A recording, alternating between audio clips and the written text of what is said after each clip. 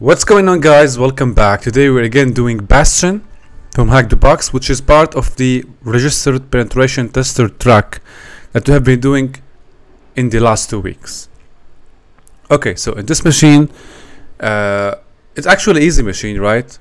It doesn't have any sort of uh, difficult aspects of the uh, offensive cybersecurity. So we're going to start the machine and start hacking. So, so the first thing I did is the nmap scan as all the time. So use the dash a switch to enumerate the services, the versions, do service or OS detection, and I've discovered a couple ports. We have 22 for SSH. Scrolling down, and we have, as you can see, the scan shows that the machine might be running Windows Server 2016 standard. And it looks like we have SMB server running here, according to these ports. So scrolling all the way down, we see also the NetBIOS computer name. So it's helpful if we add the uh, the, the, the, the DNS name to the host file. So we go ahead and add bastion.http to the host file. So if we cat etc hosts grep bastion, you will see the entry I have added, the IP address and DNS name. So what I did next, scrolling up, okay, so I, I think I have to show you guys with the commands and what I did here.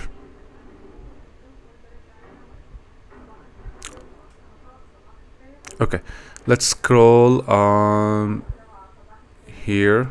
Let's see.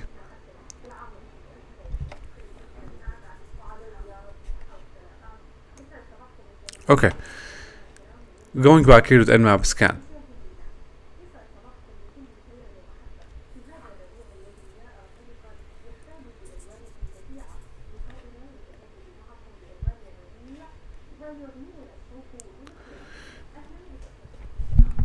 Alright, so we have SMB shares running. So we use SMB map.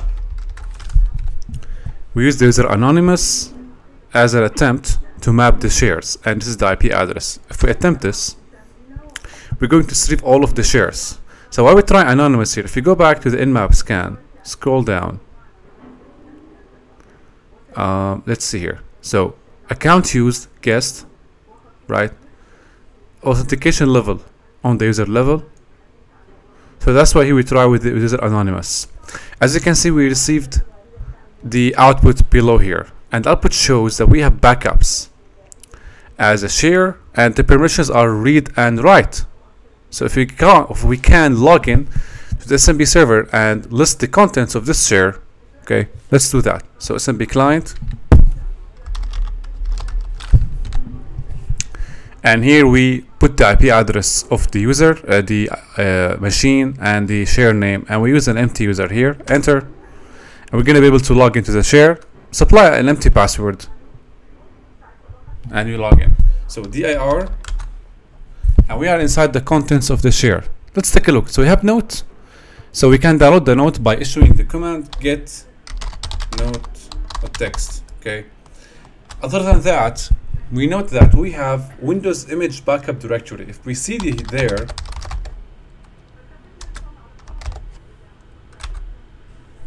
dir, let's it to the PC name cdl4.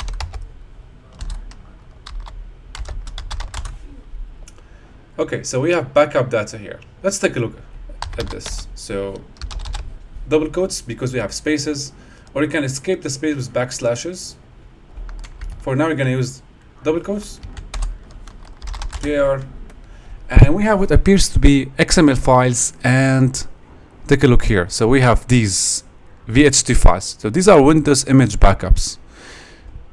And the size is huge so we cannot download them to the machine.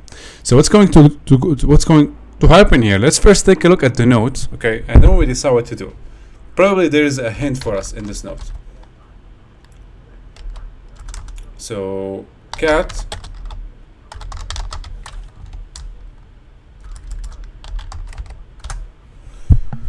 Sysadmin saying please don't transfer the entire backup file locally. The VPN to the subsidiary office is too slow. And that's justifiable because the backup files are huge. So bec- it becomes clear guys that we need to find a way to view these backup files. So what we're going to do we're going to mount the share okay the entire share the backups starting from this point. So we're going to mount the backup share to my local machine and then we're going to use guest mount specifically guest mount to be able to navigate through the VHD files. Okay so mount. Okay that's the command. So mount dash t cifs and here the full path right? So we are actually mounting the uh, path here starting from. So this is wrong actually. You should mount the path should be like this. Mount the full share okay? This is the path of the share and this is where I will mount it on my local machine and specify the username to be anonymous okay? Once we do that let's take a look. Ls so bastion v3 doesn't matter the name right? That's the name I chose. So cd bastion v3 and as you can see the contents of the full share have been dumped or, or, mounted to my local machine. Now the next thing I want to explore or I want to navigate through the file system through the backups but there is no way to do that because the files are in VHD so how to be able how to do that I mean how to explore that. So what we do we're gonna use guest mount.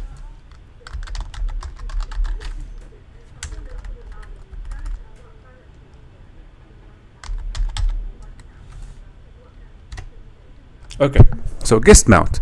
Guest mount is a way to um, mount files of this nature VHD files. So what we're going to do we're going to use dash dash add okay and here we put the full path to the VHD image which is the Windows image backup file. We have two. If we scroll up we have two. One that actually the name the, the, the name of these the names of these two files are the same except one number. Here the first octet it ends with 3 the other octet it ends with 4 so you can actually mount both so here I mounted one time for 3 and other time you can add the uh, one that ends with 4 here and then I use data inspector to be able to, to be able to navigate through the files and this is the path to my machine or in my machine where I will mount the contents. So I created a new directory, uh, was VHD, and to that directory I mounted the images. So we're going to run these commands two times. The first one will be for the file that ends with 3 at this position, and other command will be for the file ends with 4 at this position. Don't forget to add backslashes here. The backslashes here because we have spaces, we're going to escape them. Once you do that, if we enter cd back and as you can see this is the VHD file if you view the contents of VHD exactly I need sudo here as you can see we actually uh, can view the contents of the file system the Windows directory, users, recovery, program files, data. This is the contents of the file system of the target machine uh, after we were able to mount the VHD files through guest mount. So now the next thing that we're going to do, we need to find a way to uh, dump the hashes. Now Windows, to dump the hashes, you have to target two files, the SAM and the system. So SAM and system can be found under Windows System 32 and you can dump them to the local machine. Uh, to, to, to, my local machine. So once we do that, we'll be able to uh, crack the hashes. Alright. So if we say sudo ls-la um, vht, right, the Windows.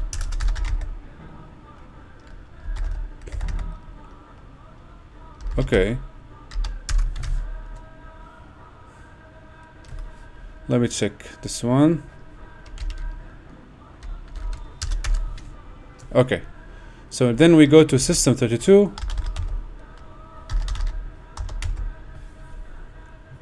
let's see here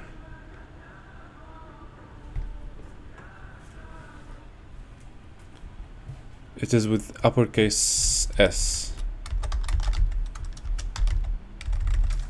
Config. And we have these two, system and SAM. So what we can do, we can copy them to uh, desktop and then we can use SAM dump or secrets dump to extract the hashes. So the same command here, use system, okay, and here instead of ls slash la, I'm going to say cp and then to desktop. Okay. And other command will be for the SAM file. So execute this command two times. The first one will be for SAM and other one will be for system. Once you do that, let's navigate now to desktop. I think it's gonna be, let's scroll up now.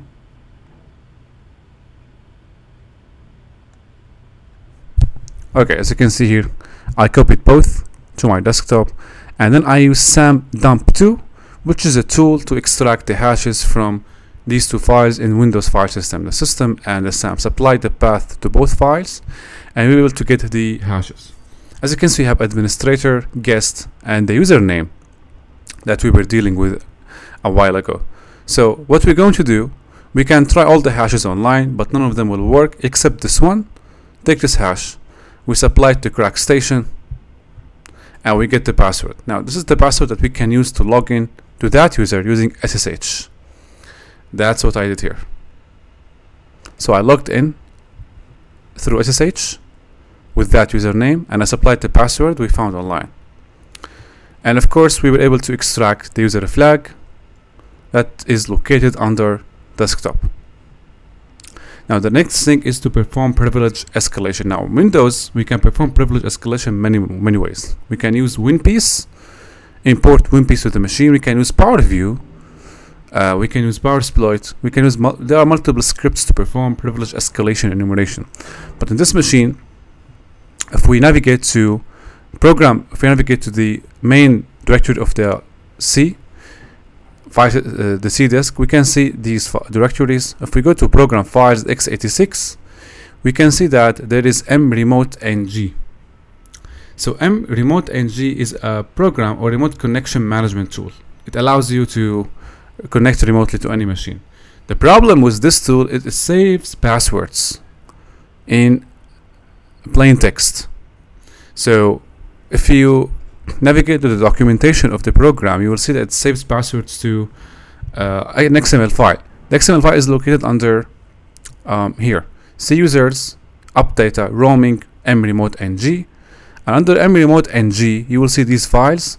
Conf constants XML is the uh, XML file that stores the passwords used to log in remotely if we can grab a copy of this file we can grab a copy of this file basically using SCP let's go up.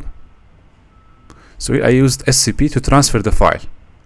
Okay this is the file. I transferred the file using the SSH connection that I have access to and I transferred the file to desktop. Once I did that I was able to view the contents of the file now, if you want to view the contents of the file, let me show you what I did. So oh, let's open a new tab here.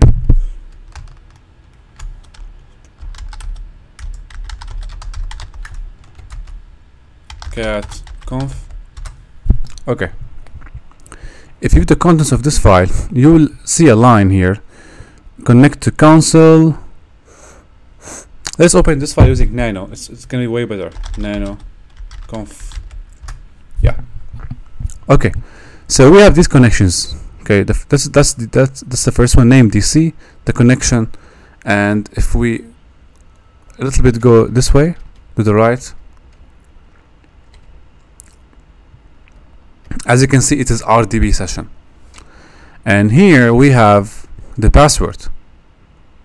As you can see, this is the password use and this is username. This password is base64 and it's encrypted. The only way to decrypt the password is to use a specifically designed tool to decrypt these kind of passwords. So what I did, I downloaded a tool called, let's scroll down.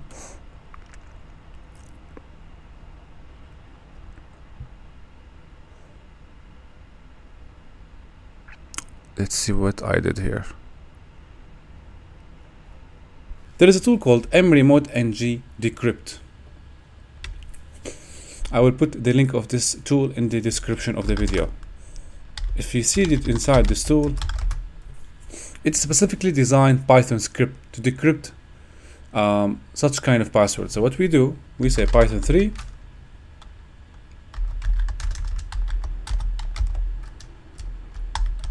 and then we supply the file name or the password itself. So dash s and here the password. Let's extract the password and this is the encrypted password. As you can see this is the password decrypted.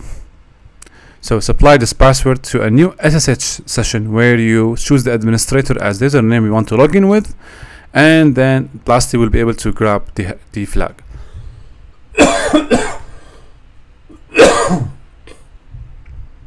So that was it guys. Very easy machine. The new thing that you might be that you might have learned is how to mount VHD files or how to navigate them using guest mount.